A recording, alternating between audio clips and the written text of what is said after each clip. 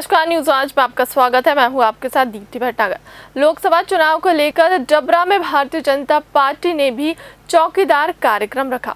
कार्यक्रम में ग्वालियर से लोकसभा प्रत्याशी विवेक सुजलकर, पूर्व मंत्री नरोत्तम मिश्रा, जिलाध्यक्ष वीरेंद्र जैन मुख्य तौर पर शामिल हुए। विवेक सुजलकर ने बीजेपी कार्यकर्ताओं समेत युवाओं को संकल्प दिलाया कि नरेंद्र मोदी को दूसरी बार प्रधानमंत्री बनाना है। लोकसभा चुनाव नज़दीक आते ही राजनीतिक पार्टियाँ अपनी पूरी ताकत झोंकने में जुटी हुई हैं। बीजेपी ने भी चौकीदार कार्यक्रम का आयोजन किया, जिसमें युवाओं ने बढ़ चढ़कर हिस्सा लिया। ग्वालियर लोकसभा सीट से प्रत्याशी विवेक शुजलकर ने युवाओं को संकल्प दिलाया कि दूसरी बार भी नरेंद्र मोदी को देश का प्रधानमंत्री बनाना है। इस मौके पर विधायक नरोत्तम मिश्रा ने लोगों को संबोधित करते हुए कहा कि अखबार में राशिफल और कांग्रेस अध्यक्ष राहुल गांधी की घोषणा को लोग पढ़ते और सुनते हैं, लेकिन ध्यान नहीं देते। मध्य प्रदेश और उत्तर प्रदेश समेत पूरे देश में मोदी के नाम की सुनामी आई है और एक बार फिर मोदी सरकार बनाने जा रही है।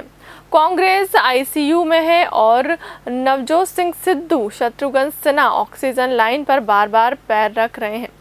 कांग्रेस की केंद्र सरकार के कितने ही मंत्री जेल गए और कांग्रेस अध्यक्ष राहुल गांधी समेत उनका परिवार जमानत पर चल रहा है। कांग्रेस की सरकार में महँगाई पर गाने बनते हैं, मोदी सरकार में कोई गाना नहीं बनता।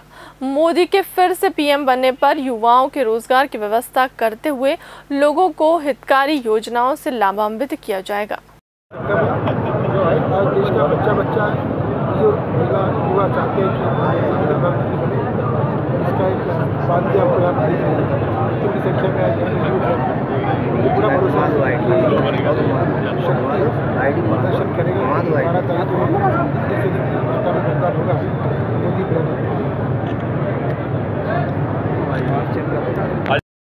कि राहुल गांधी जी की घोषणा और अखबार का राशिफल। इसको लोग पढ़ते और सुनते तो हैं पर विश्वास नहीं करते। सर गठबंधन को लेकर भी उनका ऐसा ही हो रहा है गठबंधन के लिए हर रोज नए लोग जुड़ जाते हैं फिर समर्थन अब तो अब मित्र चुनाव अंतिम चरण में है और कांग्रेस अभी आईसीयू में है। दिक्कत ये आ रही है कि नवजोत सिंह सिद्धू और शत्रुघ्न सिन्हा जो ऑक्सीजन पाइप है उस पर बार बार लात रख देते हैं। सर एमपी में बीजेपी कितनी सीटें ले रही है? लोकसभा चुनाव के बाद क्या हम मतलब पिछली बार का इतिहास रिपीट करेंगे 25 से 27 सीट मध्य प्रदेश में भारतीय जनता पार्टी जीतेगी तेजवलकर जी कितनी से जीत कर एक लाख से ऊपर माननीय सजलकर जी को जीतना चाहिए ऐसी मेरी मांग डबरा के गड्ढे को भरने की भरपाई की जा रही है। कोई गड्ढा नहीं है डबरा में न तब था ना अब है पिछले चुनाव में भी नहीं था हाँ, इस बार हम डबरा से जीतेंगे।